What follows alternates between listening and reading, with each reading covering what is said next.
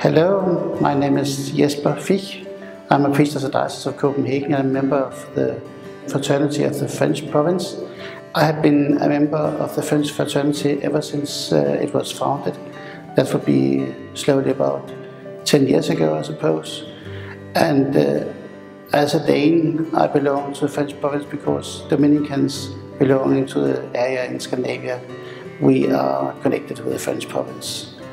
In Denmark, I will be alone. There will be no friars, no sisters, but um, it is already known. Um, once in a while, the fraternity, the priests of the fraternities, they will be the representative uh, of the Dominican uh, mission where they will be.